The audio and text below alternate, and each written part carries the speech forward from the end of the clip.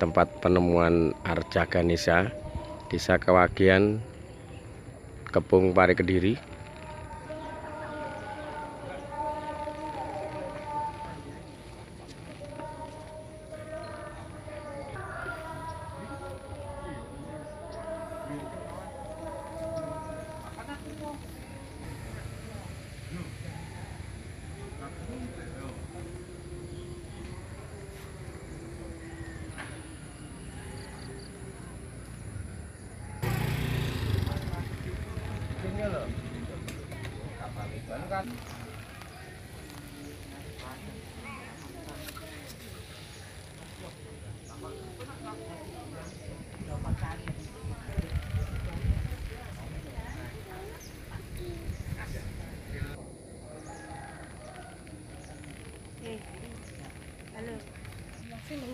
Ini tempat penemuan.